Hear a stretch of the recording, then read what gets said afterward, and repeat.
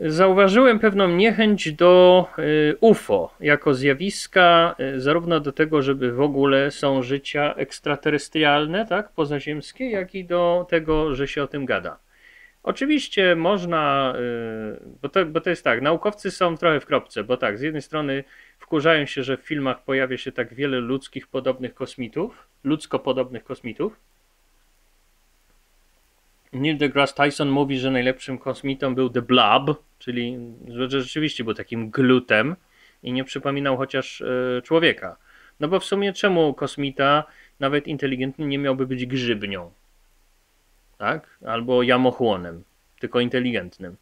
Dlaczego zawsze musi być ręce, nogi i tak dalej? Dlaczego musi być zawsze E.T., który jest człowiekiem, tylko ma wielki łeb i gada o ekologii, ecie pycie.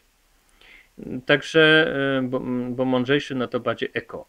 E, dlaczego tak, e, a z drugiej strony się mówi, czyli nie podoba mi się, że ludzie mu UFO, nie podoba mi się, że coś nudni, oszaleli ludzie z prowincji są nudni i wymyślają, że wtykano im diody na statkach, ale jakoś nigdy nie zwędzili popielniczki, tak, z tego pokładu, jak mówił, kto to mówił o tym? Właśnie chyba też Neil deGrasse Tyson. To jak chcesz udowodnić, że jest że jest statek kosmiczny, to ukradnij popielniczkę.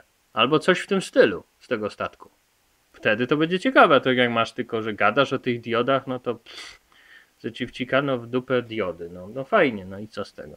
Także ktoś jest tak nudny, że musi wymyślić sobie, że diody. A jednocześnie wiadomo, że kosmos jest tak ogromny, że nie was można sobie wyobrazić, że nie byłoby tam innego inteligentnego życia.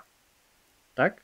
Więc na pewno jest, ale czy my z nim jakiś kontakt utrzymamy? Natomiast to, co jest nowe, to ja pamiętam, że temat UFO, temat tych, e, tych pozaziemskich cywilizacji, a także życia bardziej prymitywnego pozaziemskiego, bo był taki fajny serial BBC, zdaje się, gdzie były e, wieloryby lądowe, były takie trąbowce e, ośmio, ośmionożne, które miały nogi jak ludzik Michelena, takie oponiaste nogi, bo, bo coś tam, bo większe przyciąganie czy coś więc muszą trąbą wciągać, bo jakby pochyliły szyję, to by im złamało ciśnienie tą szyję. E, Landowe wieloryby przesiewające plankton powietrzny. Fajne sprawy, fajne sprawy. Ale ludzi to, e, te, te opowieści o UFO zaczynają irytować. Nigdy tak nie było. Mnie irytuje, że to ludzi irytuje. Nigdy nie było tak dotąd, żeby ludzi to irytowało. Po tym jak się pojawiło to Mauna Mała, czy jak to się tam nazywało, to co tak nazwano po hawajsku, ten dziwny obiekt, który miał inną trajektorię niż naturalną i przyleciał z innego układu słonecznego, co miał być UFO.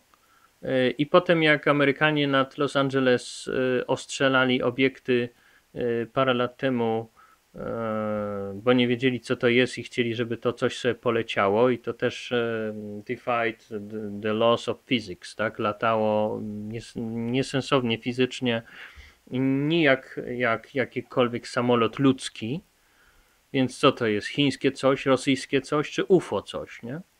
No UFO to jest w ogóle Unidentified Flying Object. Nikt nie mówi, że on ma być z kosmosu, tak swoją drogą.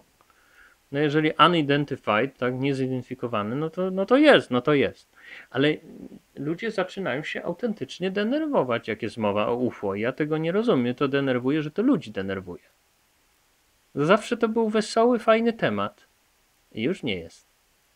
Nie wiem, jakieś macie pomysły, dlaczego tak jest, że to już nie jest taki fajny, radosny pomysł? Bo ja nie rozumiem, co się stało.